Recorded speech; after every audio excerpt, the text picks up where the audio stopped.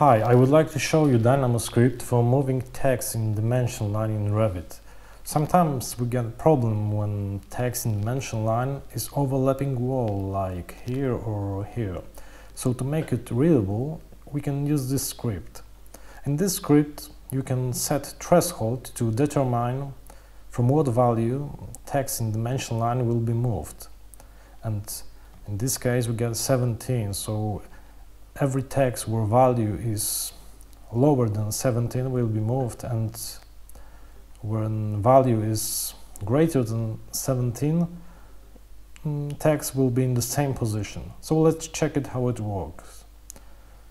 First we have to select dimension line and distance we got 17 and run script. Okay, so it works. Of course, it works also for horizontal dimension.